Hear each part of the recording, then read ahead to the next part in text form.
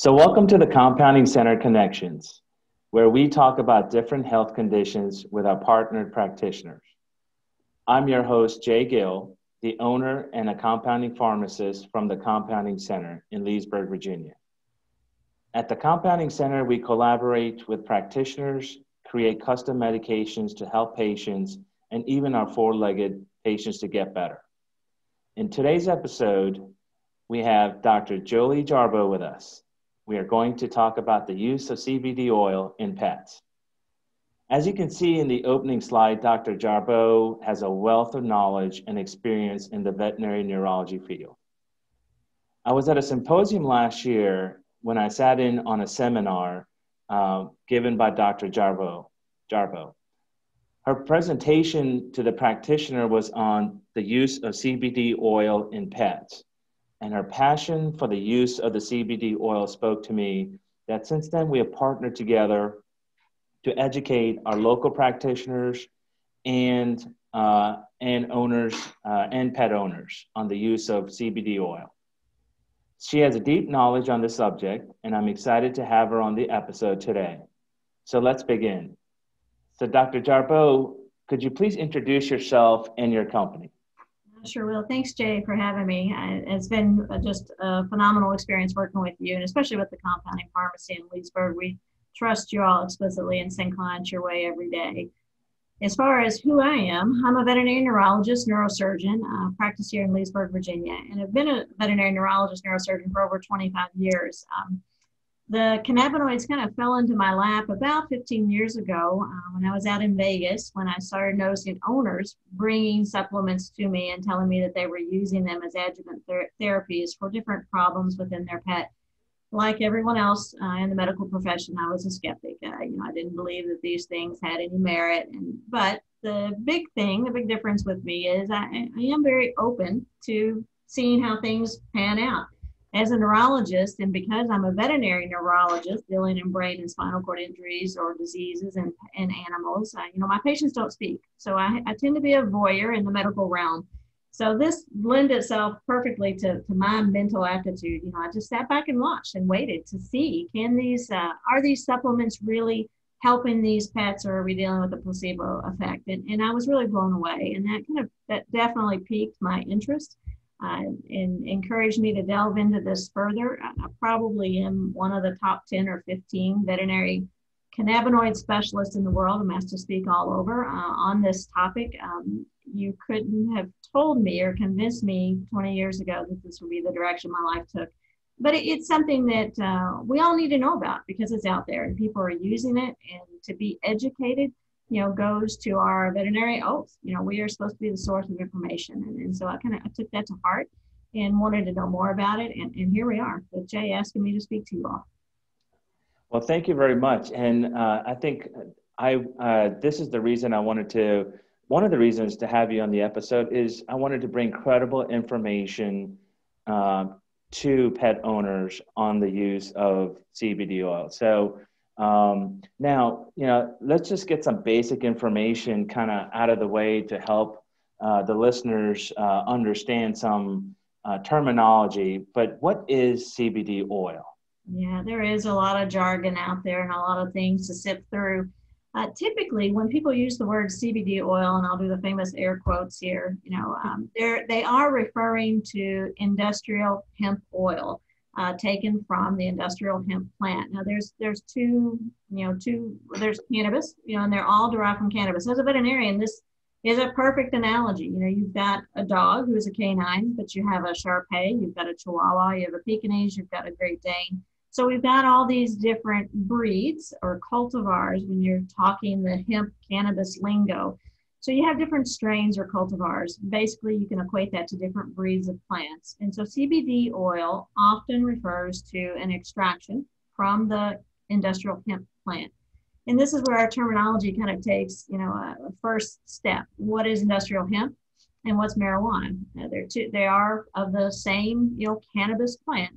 And basically, it comes down to what's their intent or use. Uh, marijuana has very high THC, which is the intoxicating part of the plant that some people use for medicinal reasons, some people use for recreational, and some ride the fence and say it's recreational medicine. So, you know, we've got that aspect of it. Where industrial hemp plant is definitely a different component. It, it to be classified as hemp, it has to have by the US government less than 0.3% THC. That is critically important when you're dealing with my patients, uh, dogs and cats. They're keenly sensitive to the effects of THC because of their very high CB1 receptors in the brain. CB1 is what THC hits on. And so you can get very intoxicating effects uh, in our animals with just minuscule amounts of THC. So again, when you're looking at CBD oil, it can be derived from cannabis, from marijuana. I'm sorry, it can be derived from marijuana plants. You are typically going to get that type of CBD oil from a dispensary. So that's not something that you can just walk into Walgreens and buy or at your gas station. You know, that would be illegal in most states unless you're at a dispensary where they, they have the certification to, to make and manufacture that and dispense that to you. Uh, industrial hemp oil, because 2000, uh, let's see, two years ago, President Trump signed into bill um, that industrial hemp was perfectly legal as long as a U.S. sanctioned crop and it had 0.3% less THC. There's some other parameters involved in that legislation, but that's the key point is the level of THC in industrial hemp. And again, most often people refer to CBD oil, they're referring to that CBD oil extracted from the industrial hemp plant. And when we look at that, you know, we have um, CBD oil, we have isolates. You know, what is the difference in those things? When you're talking about CBD, it's kind of, it stands for cannabidiol. That's actually just one cannabinoid, and that's a constituent or a component of this cannabis plant. It has over 480 biologically active components to it, and of those, we've identified about 110 cannabinoids. CBD, cannabidiol, is just one of those. It, it usually is in the second highest uh, percentage of quantity of the cannabinoids. And so we can we can tweak these plants to have more, say more CBD. We can tweak them to have more THC, and they're even getting more sophisticated uh, with these cultivars and having the lesser known cannabinoids like CBD or CBG.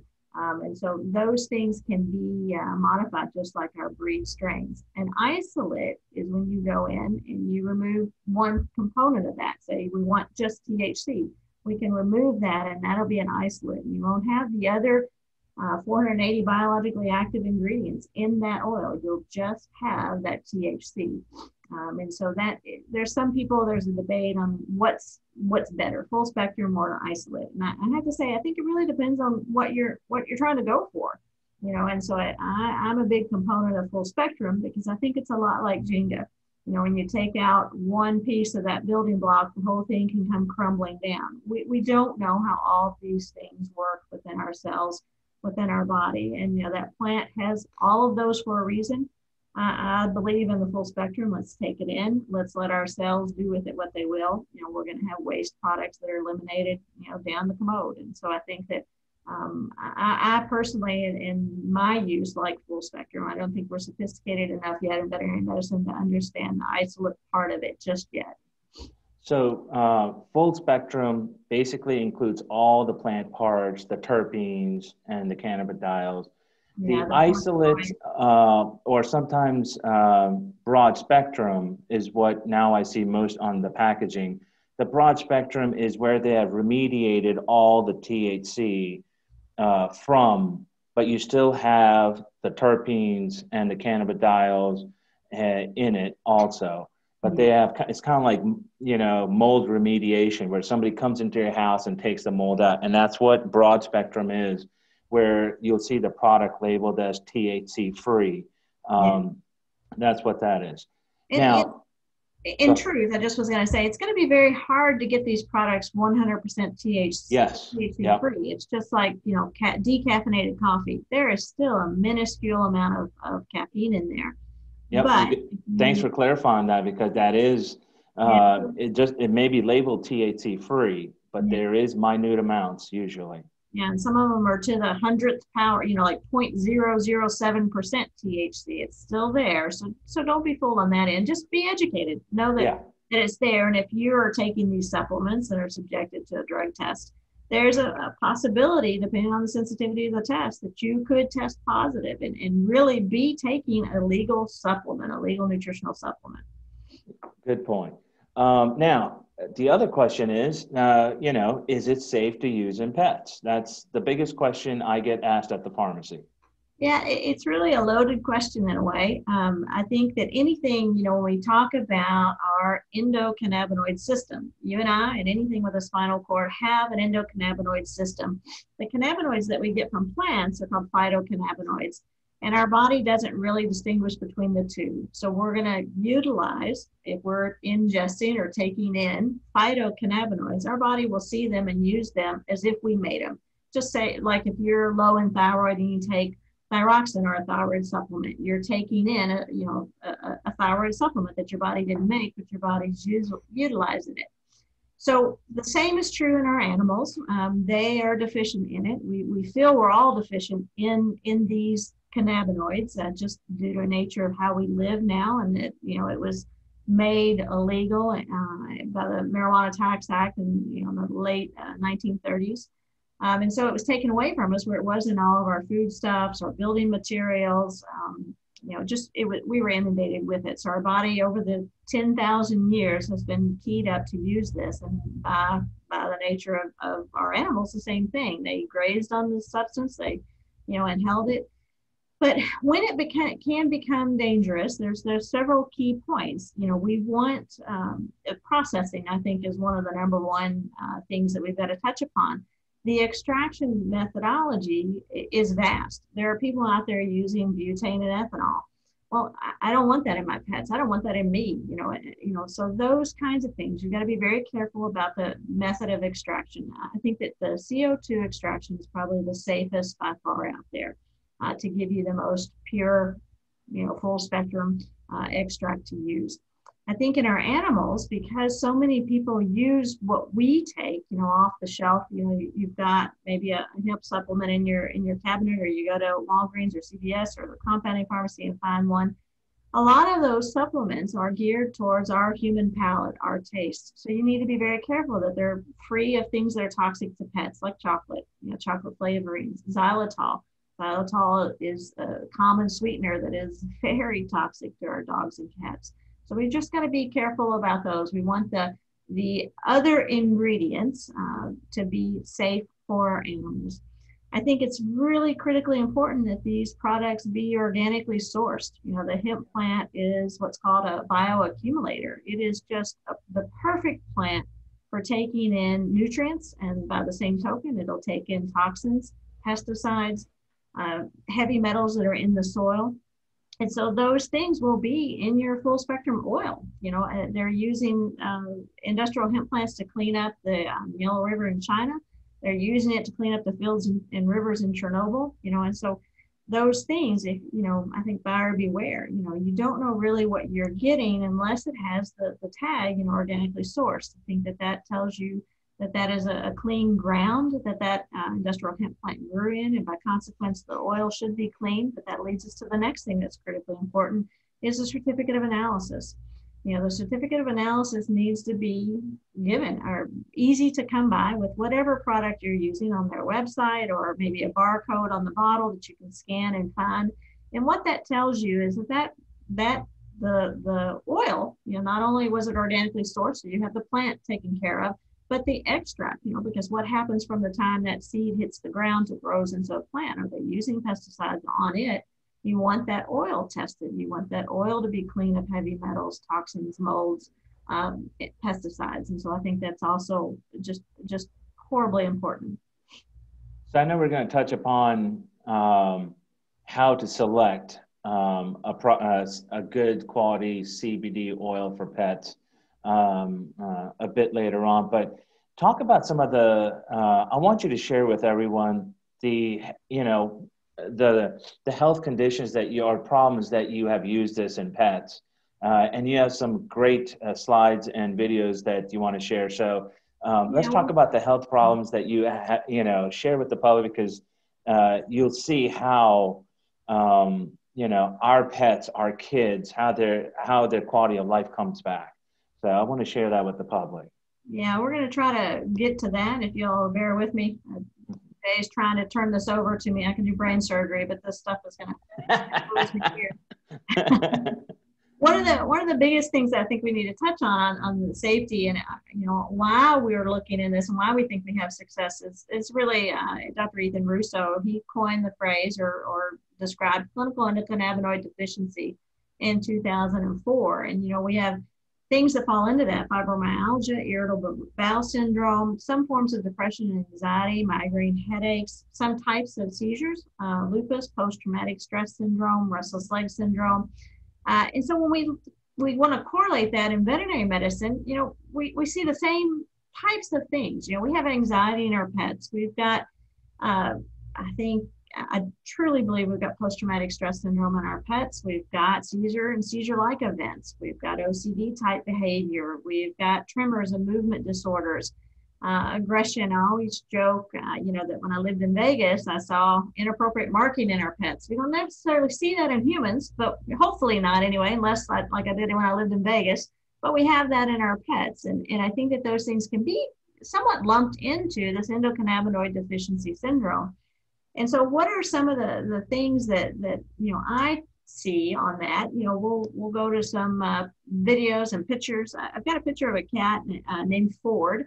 Uh, he has what's called stress-induced um, cystitis, or FLUT is another term for that. And, and, Ford came to me. You know, just one of the veterinary technicians owned him, and he had been treated for years with traditional medications, things like fluoxetine, which is Prozac, and amitriptyline, Buprenex, Xanax, antibiotics. He'd been on urine acidifiers they had him on a, a urine type diet to try to reduce these crystals, and nothing seemed to help. Um, so the owner, you know, was at her wit's end, and she said, "Well, what do you think? Do you think um, your product?" And, and, I'm associated. I'm on the medical advisory board uh, of a company called Zilis, um, and we'll talk about them in a, in a little bit. But their product is called Ultracell, and it's a full spectrum industrial hemp oil. If you're looking at the screen, that's what FSIHO stands for. And she wanted to know, well, can this, do you think that'll help? And I said, well, well, why wouldn't you try it? Our traditional things haven't, our traditional treatments haven't really helped Ford. So, so let's see if we can't make things a little happier between his ears. And that's one of the big um, benefits of cannabinoids is they're potent mood stabilizers. So these animals, you know, they, they have stress, you know, and I always joke that cats are, are aliens trapped in a body, you know, in this little cat body that they got confused and they spend the rest of their life trying to beam their way home.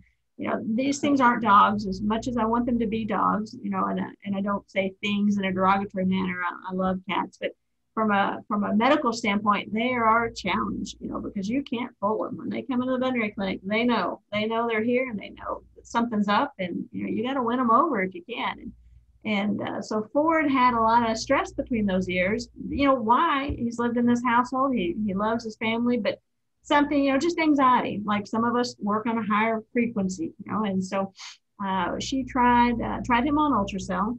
Um, because again, these other things take wrestling with him. You know, this is supposedly a stress induced urinary problem where they have spasms and they can get blocked.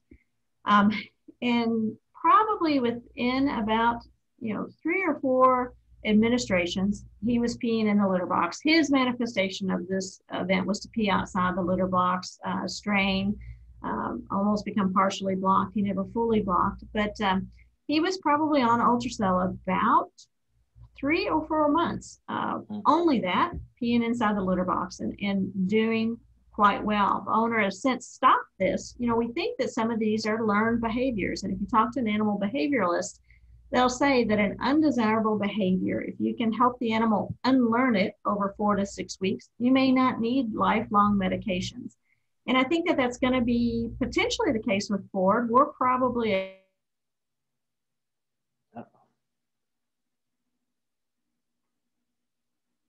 him and that it will need to revisit this and see if we can't you know help him be a little calmer between the ears um, We've got Vinny. Vinny is a uh, macaw uh, with a 35 year old macaw that was brought into the household from a rescue situation. He has what's called uh, macaw wasting syndrome. It's basically the avian or bird equivalent of, of AIDS. Um, if you can't see the video, I'll try to describe the video um, on your left.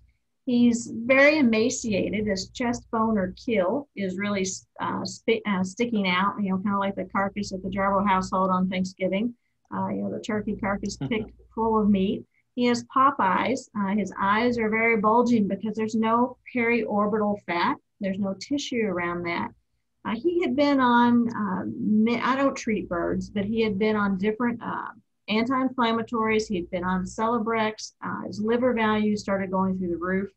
They put him on Ultracell. You know, again, uh, they just they didn't have a, you know, they felt like they didn't have an alternative, and they were reaching like so many of us do when we reach the end of, of what we think our medications and truth therapies are doing. We look for alternative therapies, right? And so this owner did that. Uh, the picture on the right shows a, a, bird that's his chest is fully fleshed. Uh, his eyes look more normal. They don't look like you know he's one of those um, those cartoon characters with eyes bulge out. You know, and if you hear the horn in the background, you know his eyes have got very good tissue around those. When we look at uh, this next video, I love this next video. This is uh, Rafa. Rafa is a 21 year old domestic short hair, and we'll, we'll just go through a little bit of the video. Um, if you were my age, uh, or maybe you're a big YouTube fan and you watch old old TV shows, Carol Burnett. This just reminds me of the Tim Conway old man character where he's shuffling through the house, you know, Mr. Mrs. Wiggins. And so this this 21 year old cat has got horrible degenerative joint disease, horrible arthritis, multi-level chronic discs, and probably some degree of dementia, cortical atrophy. You know, just being 21, my God, you know that that is a, a blessed life this cat has led but he's confused. He's slow to move around uh, and doesn't quite know where, where he's at. Um, to put him on non-steroidal anti-inflammatories when you're of his age, the kidneys are probably starting to have some compromise. And non-steroidal anti-inflammatories uh, will probably set that off. You know, will probably hasten his demise. So, and the same with steroids. You know, steroids uh, in cats, we, we need them, we use them, I use them every day. Um, but again, in an older cat, you really, you know, you want to hold off for as long as possible when, when you reach for that medication. And so our video on the right, no kidding, folks, this is after two administrations. You know, oh, he's wow. Running down the hallway. Well, he's not running, but he's walking at a fast clip. You know, and I joke with the owner. Uh, you know, I said, I don't know if Rafa knows where he's going, but he's on a mission. You know, the other video looked like he was working under a cloud, you know, or in a fog. Um, the next video, for those of you that don't uh, you know, have the video, you're going to hear a lot of barking. It's a trooper in this area. You know, in Kentucky, all these hounds were coon hounds. I've learned since I've been in uh, Leesburg, Virginia, that hounds are foxhounds here, so different type of hound. But they are high drive, this dog was sent to me for a lumbar sacral issue um, by a veterinary surgeon because he would spin around and bite at either his left or right hip and just bark. Non, you know, he did this over 30 times a day. He did have some evidence on his MRI of a, of a trauma, but it was really the opposite side. He'd almost turn more to the right than he would to the left, but he'd do both. Um, so this dog, you know, 30 times a day, that barking noise for no reason, spinning, you know, knocking things off the coffee table, knocking drinks over. Uh, he had been on laser therapy, acupuncture therapy, anti-anxieties. he had been on non-steroidals, uh, muscle relaxants. I'm unsure if anyone tried steroids on him, but he came to me for a surgical consult. And I was really excited because I, I love doing surgery in the lumbosacral spine. But I took one look at this video and one look at him and couldn't make him be painful. And this is a another manifestation of anxiety uh, or an OCD type behavior in our dogs that have just high energy. You know, we take these this this hound. Uh, you know, he was probably hunting. He probably wasn't a turn in at the local shelter. You know, he probably just put his nose down and looked up 12 miles later and didn't know where he was at. You know, and landed up in the shelter. And so when you put these dogs, you know, that are meant to run and chase, and we put them in our lifestyle, you can't see me, thank goodness, from the lower half down, but you know, I don't get a lot of activity other than what's in the hospital. This is a dog that needs to, you know, be ran seven miles a day. He needs a job and a purpose. And so uh, the owners were kind of uh, at their wits' end with with true medication, wanted to try something else. And I said, well, you know, if you're if you're open to it, why don't why don't we try you know, uh, Ultracell. Again, that's the product that I, I love and, and, and promote. And this is just him in the next video sitting there with his cat. You know, he's got a, a cat friend. And after uh, two to three doses, uh, not doses, but two to three administrations, you know, these events really have since stopped. He may have one every eight weeks, you know, but it's just one. It's very short lived. And the initial therapy part of this and the initial administration to see would he benefit from the mood stabilizing effects, um, the owners would give an additional uh, serving in one of these big uh, events. You know, they can call him out of it, but if there was one that he just was too turned on and you know, wreaking havoc during these uh, helicopter maneuvers in the house, they would give him an additional administration and could notice the calming effects usually within about 10 minutes. Um, let's see what else we got here. Oh, get a horse video coming up. Dan, uh, for those of you, I'll shut up and let you listen.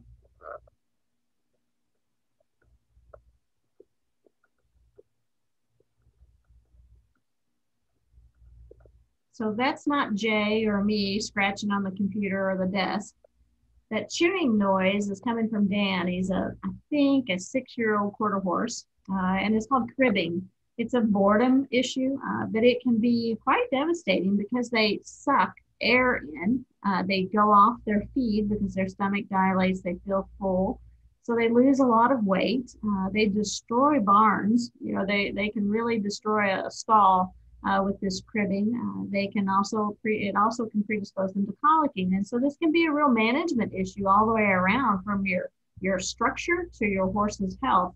Um, there are things called cribbing collars that kind of extend the head and neck that I think probably make it uncomfortable to uh, to do this maneuver to kind of it's almost like a nursing type behavior, but they're actually chewing up the stall. And so again, you could hear him when the owners would walk into the stables, just you know, just manic uh, chewing on the on the wood on the stall door. And when they started uh, him on Ultracell, this behavior has since you know stopped. He, he doesn't do this anymore. He doesn't have to wear that uh, apparatus that stretches the head and neck out. Um, and, and you know, we're, we're saving probably hundreds, if not thousands of dollars on the, on fixing the stall itself. Um, and then, you know, I, have got several videos, but uh, for time's sake, because, you know, if you pull my chain on this, I'll talk for hours. Um, but I always have to mention Samson. Samson was probably the one that sold me uh, on this whole hemp idea, this whole industrial hemp idea, and in particular on Ultracell and, and this company, Zilis. Uh, Samson was uh, seen by a colleague of mine for osteosarcoma cancer of the bone uh, in the forelimb. And uh, he was on to give you an idea of the type of pain that, that he he was on and the medications needed to try to control that pain because bone pain is one of the most severe pains that we have and it's very hard to control. He had a transdermal fentanyl patch on. Fentanyl is one of our big uh, opioids, one of our big painkillers. He was on tramadol, another opioid-like medication. He was on gabapentin, a medication used with good action against nerve-based pain.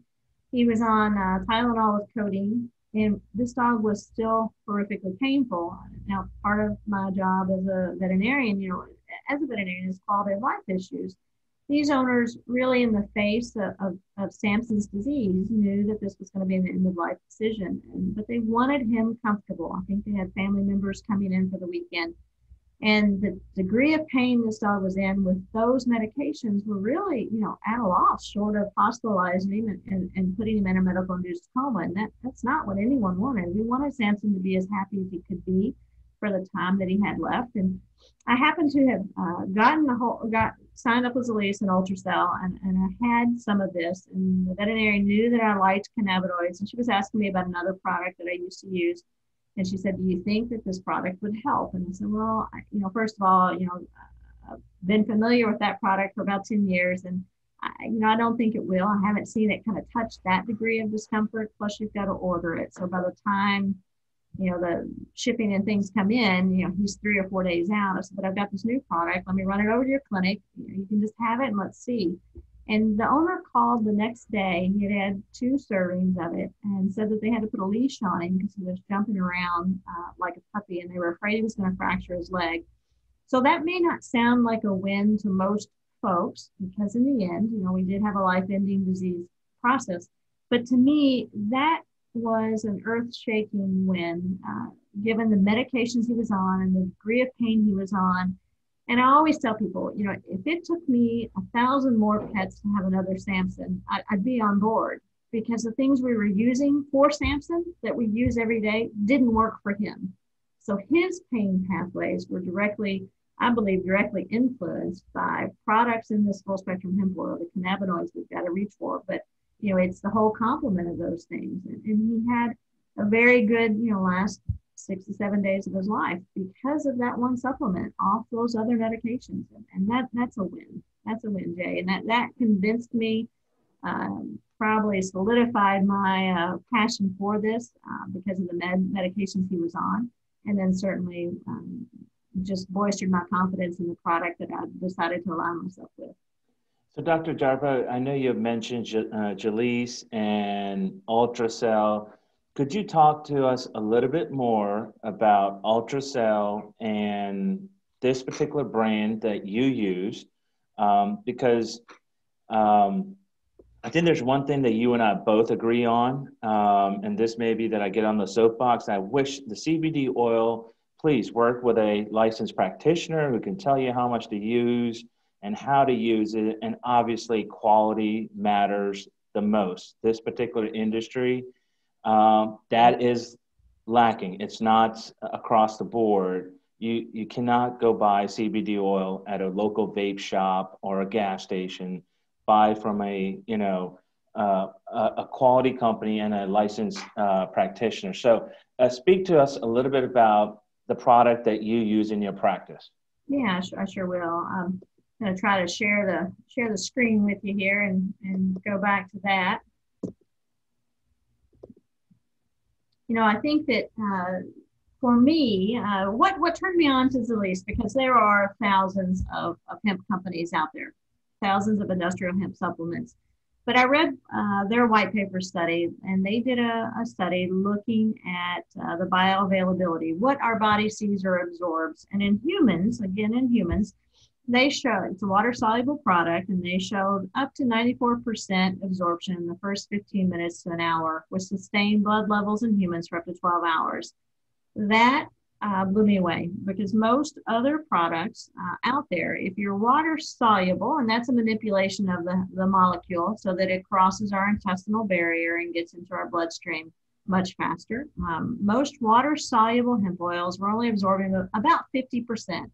So you're flushing down, you're, you know, you're pooping out the rest, basically, folks. You know, so whatever you pay for, you know, if it's water soluble, at best about 50%. Well, Zilis was showing up to 94% in humans.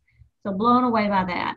Uh, true oils, which a lot of the hemp oils are, really at best are only about 10% absorbed. Now, there's a lot of uh, a lot of people who love true oil products, and they'll argue with you. Uh, you know, if, if you're seeing results, people, I, I don't really, I, I don't really care what product you're using from that standpoint, water soluble versus true oil. If you're seeing results, positive effects, then stay with the product you're using as long as it's a safe product. But true oils, again, only 10% absorbed, and you're flushing down the commode 90% uh, of the product that you just ingested.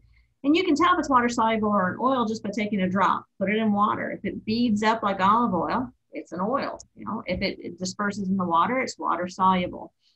Um, the other thing that I, I, loved about the Zilis product, besides that that um, correlation, and again that's in humans, but there's a strong correlate in the dog's intestinal tract and the cat's intestinal tract to our to our intestinal tract. So we may not be up to 94% in the dogs or cats, but I bet you it's better than the ones that have been studied that show what's called a half life at a 4 mg per kg serving twice a day um, they're showing that it really has its peak effect for four hours. So a half life of four hours versus a half life of six hours. So I, I, believe in what I'm seeing in the patients that I've used with the Zilis products nearly three years now. Um, I think that it's really close to that 12 hours that we're seeing in humans versus the, the, the two that have been studied on the veterinary side that are showing that they're being labeled or directed as giving two, possibly three times a day, but with half lives of every four hours, it probably should be an every six hour administration. With again a, do- a serving size of four mgs per kg. Because of this enhanced bioavailability of the Zilis products, I, I decided to use a very, very small um, serving size. And, and I use probably 0.01 to 0.2 mgs per kg. So you're using just a minuscule amount of this product, and I, and I feel we're seeing benefits uh, when we're using it in the majority of cases. Not all, just like in humans. you know, about 80% of humans will show some positive effect when you supplement with a good quality hemp oil. And I, I think that we're seeing that in our animals. It might not be what you wanted the effect to be. You know, you may see a different side benefit than what you, you were hoping for. But again, you know, let the body do with this product what it can and, and see is there a positive effect or not. Um, it's also, Zilis products are also um, certified organically sourced. You can get their certificate of analysis. It's a CO2 extract. Uh, it does not have any uh, toxic products for our pets. They, it is also U.S. Hemp Authority certified. The U.S. Hemp Authority is a, a self-regulating um, administration or, or, you know, and it's, kind of like the Better Homes and Garden stamp of approval. They, they are third party testing to ensure that what's in that bottle is what's in that bottle. So if you're using a hemp oil that has the stamp that it's US Hemp Authority certified, you know that it's not only met the uh, processing standards of the company, if they're a good company, they have certain regulations and, and things that they adhere to to try to get the best product. But it's also then been third party tested by this US Hemp Authority and certified or given the mark that what is in that bottle is actually what's in it. Because we all know if you're listening to this podcast, you probably are familiar with different hemp oils and different studies that are out there that, you know, the, the problem in the supplement industry, there's probably something like 87,000 supplements. There's no FDA true regulation, there's no regulatory statutes.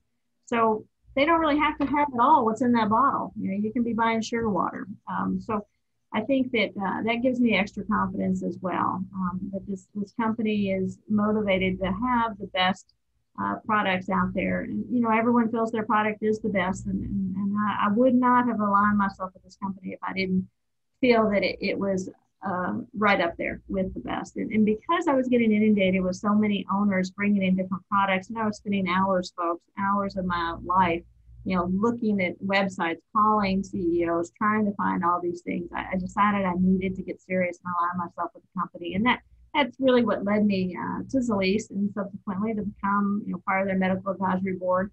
Their products that I use on the veterinary side are least Ultracell. I love the raw. They've got three flavors, if you will, lemon and berry for the human palate, and then raw, uh, R-A-W, if you can't understand my Kentucky slurring. so and then they also formulated what's called Ultracell PET, uh, which is one fourth the concentration of Ultracell Raw. What we found is Ultracell Raw, because of the bioavailability, it's so potent. You know, you're using probably one drop per 20 pounds twice a day of dog or cat. So if you've got, you know, a small Yorkie, of course, giving a quarter of a drop well, that wigged a lot of people out. You know, they they forgot about their uh, Miami Vice days. You know, and how to look at something and decide what is one drop, which is 0.05 mils. Again, getting back to my Kentucky slurring, some people think I'm saying a dropper full, and a dropper full is usually 20 drops or one mil. So this is just a, a minuscule amount. So we formulated Ultracell PET, one fourth the CBD concentration. So you're giving, you know, it's one drop of Ultracell PET per five pounds, um, one to two times a day in our small dogs and cats. It's salmon flavored, so again, you know, we're not we're not supposed to taste it as humans. That one is specifically form, formulated for our smaller dogs and cats. I have tasted it, and it's not like the salmon I get at the restaurant. It's pretty pungent. And then Ultra CBG. CBG is another isolate. Um, and I love the combination of Ultracell Raw and ultra CBG together, I think that you get a more full spectrum effect and entourage effect with those products on our own endocannabinoid system. Well, in the essence of time, I mean, we've shared a lot of information um, in this episode and a lot of uh, good information here. Um, how would somebody get in touch with you or buy this particular product? Could you share that? Yeah, I'll put that on the screen while we talk about that. That's um, you can go to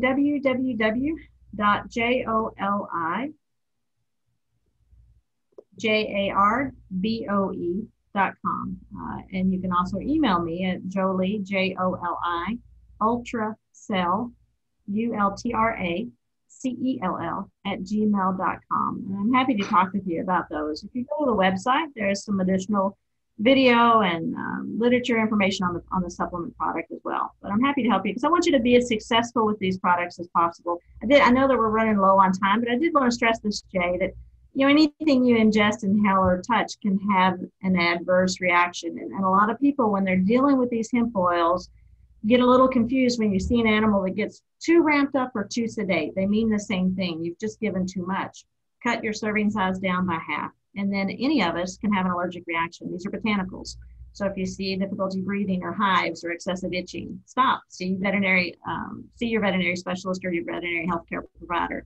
And I also would not use this to treat true diseases. Consult with your veterinarian. See, you know, this these supplements have their place, but also don't don't be a you know don't practice home doctoring. You know, if you think your animal is ill, seek your veterinary health professional for advice.